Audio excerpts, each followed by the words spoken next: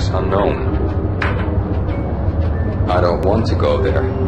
It's the last place I'd want to end up. But that's where I always end up anyway. Only, it's not me talking to the pink flamingo, but someone who looks the part down to the finest detail, except that he's evil. I'm hiding in the shadows, watching it all unfold. The flamingo speaks. It can speak here. It says, Mirrors are more fun than television. That's mirrors are more fun than television. Somehow I know this, just don't ask me how. and I, not me, but my double, nods and smirks at this like it was the funniest thing in the world. And then something goes wrong. And suddenly they know I'm there, hiding behind them, and they both turn to look at me with cold eyes. And the flamingo speaks again.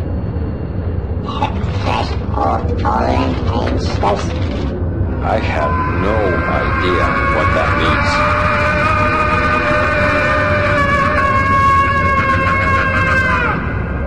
And that's when I always wake up to my own scream in that brightly lit white hospital room, strapped to my bed,